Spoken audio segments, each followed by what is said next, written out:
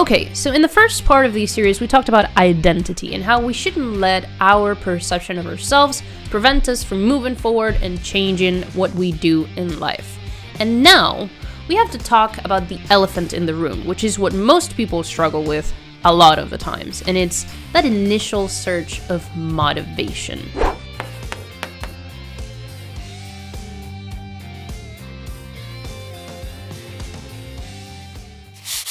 Hello everybody and welcome back to the channel. If you're new here, which you probably are, my name is Sabrina. I am a human based in Argentina and in this channel I'm going to be talking about things that are of interest to me like productivity, maybe personal finance, and self-discovery because I believe that we should all discover ourselves a little bit every day.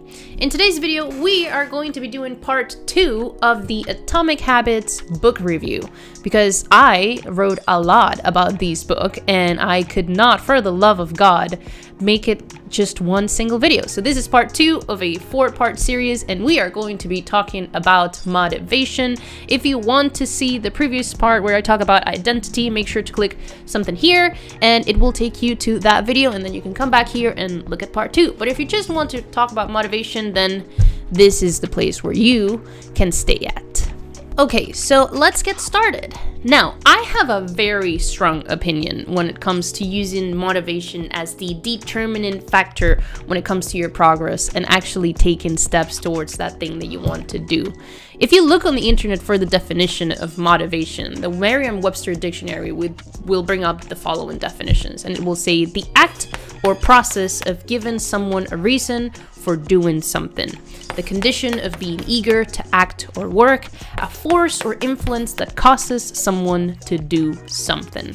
Now, if we take a look at these definitions, it's very easy to realize that none of these definitions make any allusion to having long-lasting effects over time. It is very easy for a person to be eager or excited to do something when they first venture into an activity or when they are setting their New Year's resolutions. It is very easy to find a reason why they want to do something.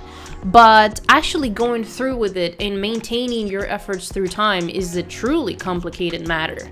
Being constantly motivated implies that we will be our best selves 100% of the times. That there should be no struggle when we want to do something because when we set to accomplish our goals, we have a clear reason why we want to do them and we are eager to put in the work that it takes. In reality, that is very rarely the case. In the book, Clear talks about how one of the biggest issues that we have when it comes to implementing and incorporating the new habits that we want to have in our lives comes precisely from staying motivated. You see, our brain is consistently working towards cataloging the actions that we take as either useful or useless.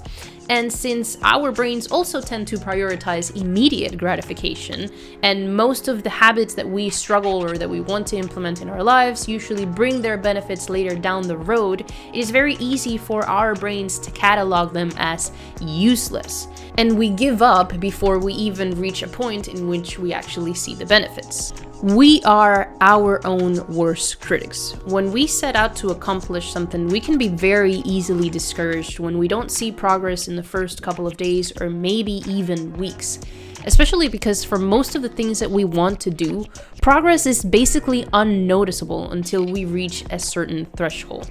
The biggest example that I personally have is when I started exercising. I had been exercising five days a week, maybe even sometimes two times a day when my personal trainer came to my house, and I didn't feel any difference. And while other people were looking at me and they say they, they said that they saw the difference in me, I didn't I didn't really feel it. It took me six months before I started to look at myself in the mirror and actually recognize that I could also see the difference. So, how can we ensure that we stick to these habits long enough for us to actually reap the benefits and see the progress?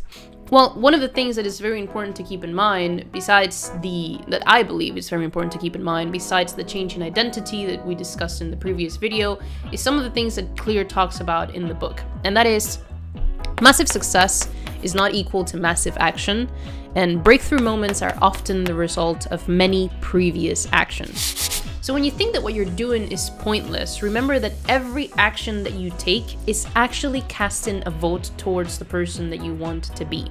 And the more votes that you keep casting towards that identity, no matter how small, the closer that you are to actually making it a reality. He also says that one of the most effective things that you can do in order to maintain that sense of purpose and novelty is to find people who share the same interests that you do or who have the same qualities that you want to adopt.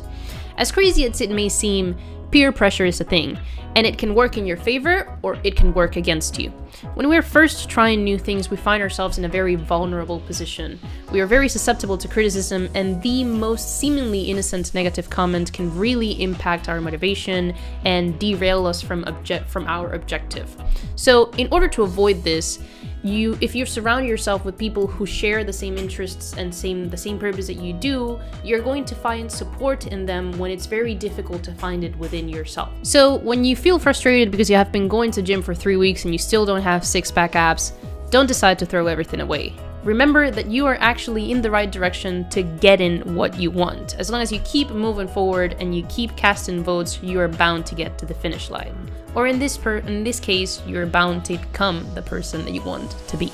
Now, that is all for today. I feel like this has been the shortest video that I have ever made, but it's only because I am breaking down these series of videos into four videos, otherwise it would become a hugely long video, which I don't want to make.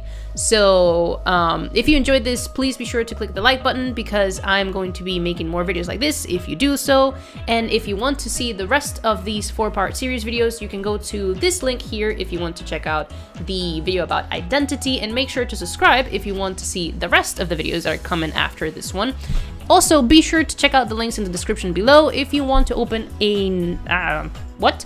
An international bank account, an online international bank account with several different currencies. Be sure to click on my referral link for Wise. And if you want to start investing in crypto and you want to start buying some of those delicious cryptocurrencies that are going up in price or that are not going up in price but are going to go up in price eventually in the future, probably, you can go and click the referral link below. And if you want to start learning new things um, and improving your creative output, be sure to click on my referral link for Skillshare in the description below. And I will see you all in the next video.